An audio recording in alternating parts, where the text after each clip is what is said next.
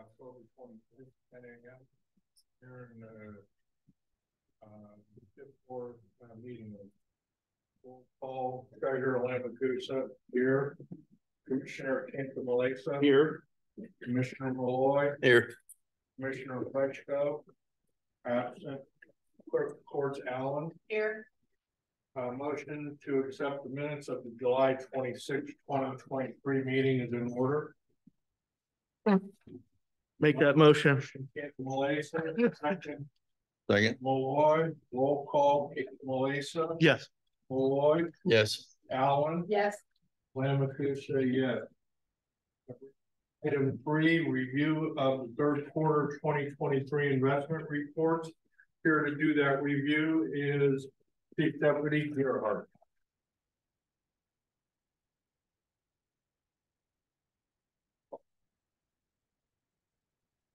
As Sam said, I'm gonna be reviewing the third quarter reports for you today. First item in your packet, if you wanna follow along with on the treasurer's letterhead, is our transmittal letter. It details the contents of the reporting packet.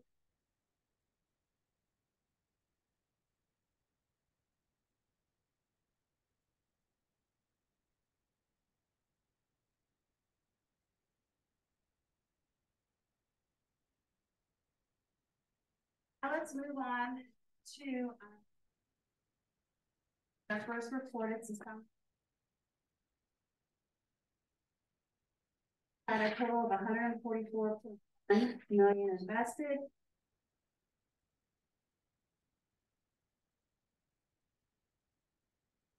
Um, the reports are in your.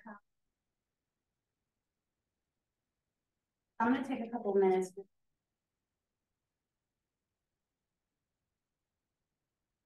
Hmm. a year ago at the end of September, 0.95%. At the end of December, it advanced to 4. At the end of June, our last quarter here, it was at 5.28. Current quarter at the end of September,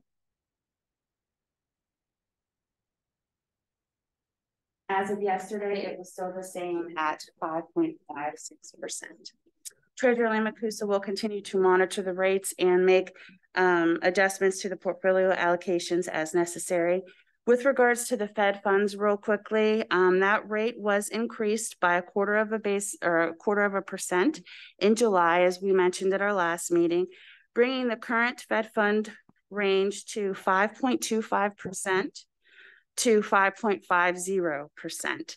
Uh, there was no change at the September Fed meeting and the next meeting is next week. And it's not likely that they'll make an increase at that time, at least not as of this morning when I looked at our recent news. So now let's move on to page two. This is the first of our CD reports. It's our interest history. And as you can see, we did not have any interest to report for the quarter. Page three is our purchase report for CDs. There were no purchases made. And page four is the inventory, and it reflects that there were no transactions or balances to report at the end of September. Now we're going to move on to page five, which is the first of our security reports. It's our interest history. During the quarter, we received 22 payments for interest on our securities. The low rate was 0.3% and the high rate was 5%. The total interest for the quarter on the securities is $198,787.50. If we move over to page six, this is our purchase report. It shows that during the quarter, Treasurer Lamancusa purchased two securities. The first was an FHLMC for $1 million. It has a monthly call starting um, in October on October 27th. It settled on sept excuse me, 727 and will mature on 727 of 28. It has a fixed coupon of 6%. The second item he invested in was a FHLB. It is for a million dollars. It has a quarterly call starting in January of 24 and it matures on 425.25. So it has a term of 1.75 years and it has a fixed rate of 5.55%. Moving on, pages 7 through 11 include the inventory report for the securities. At the top in red, you can see that in July and August, we did not have anything that matured or called. However, in September, we did have 2 million that matured. It was a one year um, FHLB and it had a fixed coupon of 4.02%. And it gave us um, in September, 40,200 in interest, and for the year, 80,400 in interest. The next two items there that are listed um, mature actually next month. In November, on November 22nd and November 24th, we have a million each maturing. Then the remaining items are listed in outstanding order of maturity. And the new ones that we purchased during the quarter are listed on page 8 and 11, and they're shown as bold red font, so you can see where they were incorporated. If we move over to page 11, you can see that for July, we posted $59,712.50 in interest, August, $98,875 in interest, and September, 40,200 in interest, bringing our year-to-date total for the securities to $585,715.28 with regards to the balances, um, at the beginning of the quarter, we started with 54,775,000. And that's where we ended as we had 2 million mature and 2 million was invested. The bar graph there shows that we have securities maturing as close as quarter of a year out, which would be in November, all the way to 4.75 years out. The furthest we can go here is five years in general. If we move over to page 12, this is our interest versus fees comparison. Um, it shows that we had net bank fees posted for the year as of September 30th of $823.28. Now, with regards to interest, the 2023 budgeted interest revenue that we submitted in the fall of 2022 was $3,654,222.07. Treasurer Lamancusa submitted a letter to the auditor in July after our last IAC meeting, increasing our estimate to $5 million for 2023.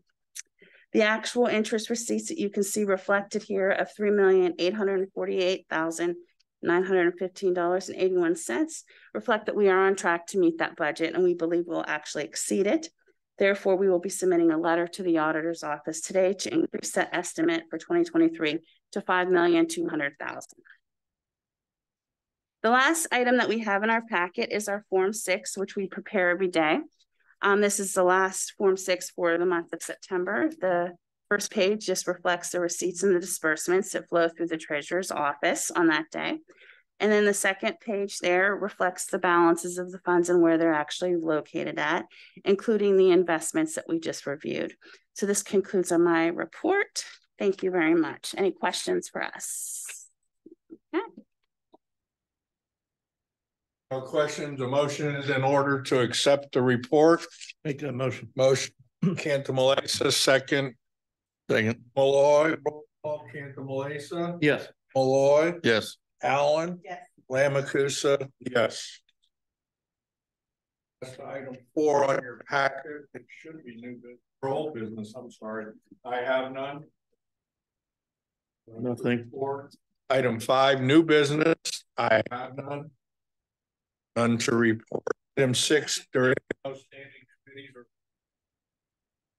or. Item seven, public comments.